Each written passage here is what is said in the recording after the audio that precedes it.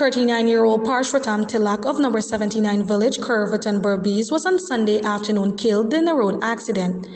There are reports that the man was struck off his bicycle by a speeding minibus on the Springlands Public Road. According to reports, Tilak had just left his home to purchase pastries at a nearby shop when he met his demise. When this newscast visited the man's grieving family, his mother, Chitrani Samlal, was emotional and at a loss for words. Well, my son left yesterday morning, got my chicken, come up with the chicken.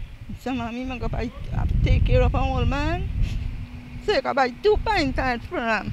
And he gone, never return. His friend come and say, nothing get knocked down. Said he cannot make it.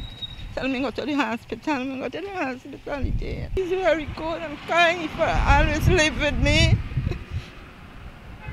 and assist me around because we don't have nobody.